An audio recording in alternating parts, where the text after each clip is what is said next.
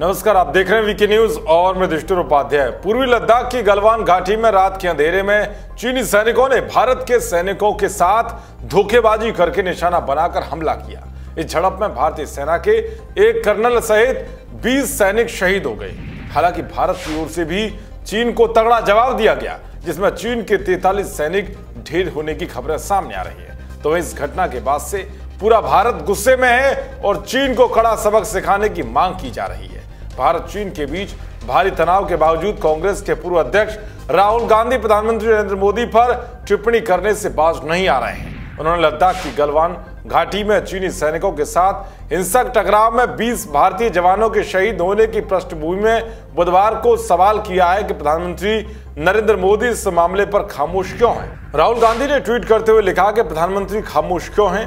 वो छिपे हुए क्यों हैं? अब बहुत हो चुका है, हमें जानने की ज़रूरत है कि क्या हुआ। राहुल ने आगे लिखा कि हमारे सैनिकों की हत्या करने की चीन की हिम्मत कैसे हुई? हमारी भूमि पर कब्जा करने की उनकी हिम्मत कैसे हुई? इसके बाद फिर राहुल गांधी ने अपने ट्विटर हैंडल से एक 27 सेकंड का वीडियो शेयर किया है। उसे भी आप सुन लीजिए। दो दिन पहले हिंदुस्तान के 20 सैनिक शहीद हुए। उनको, उनके परिवारों से छीना गया। चाइना ने हिंदुस्तान की ज़मीन छीनी है। हमारी ज़मीन हड़पी है।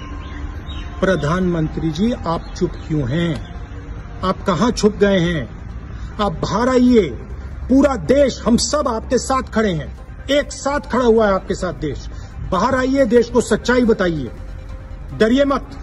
राहुल गांधी के इस वीडियो संदेश पर तरह तरह की प्रतिक्रिया भी सामने आ रही हैं। एक ट्विटर यूज़र ने लिखा कि चीन जो भी हिमाकत कर रहा है, वो कांग्रेस और वामपंथियों के भरोसे कर रहा है। एक ने लिखा कि मैं भारतीय राजनीतिज्ञों से अनुरोध करता हूँ कि वो सेना के लिए राजनीति न करें, क्योंकि सेना सर्वोपरि है। एक यूज़र ने गांधी परिवार पर तंज कसते हुए लिखा कि कांग्रेसियों की बात सुनने के बाद मुझे भी लगने लगा है कि मोदी है, इसीलिए विवाद हो रहा है। नेहरू जी होते तो अरुणाचल, लद्दाख दोनों देकर मामला रफा दफ़ा कर देते।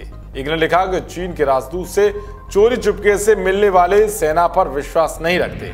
तो वही मोदी सरकार पर हमला करने वाले राहुल गांधी के ट्वीट के बाद से ही सोशल मीडिया पर चाइनीज़ एम्बेसडर टॉप ट्रेंड कर रहा है। यूज़र्स कहने लगे हैं कि क्या राहुल गांधी चीनी राजदूत से मिलकर आए हैं या फिर आपका प्लान है? दरअसल साल 2017 में कांग्रेस के उपाध्यक्ष रहने के दौरान राहुल गांधी ने डोकला विवाद के बीच चीनी राजदूत से मुलाकात की थी। हालाँकि जब ये खबर सामने आई तो शुरुआत में कांग्रेस ने राहुल गांधी की चीनी राजदूत से मुलाकात की बात से इनकार किया था।